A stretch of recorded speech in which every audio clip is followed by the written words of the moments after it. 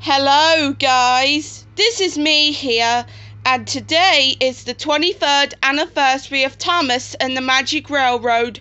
Yup, that's right.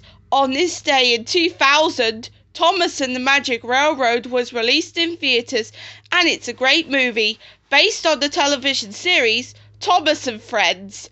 So, happy 23rd anniversary, Thomas and the Magic Railroad. This is what I like to say. This is me signing out.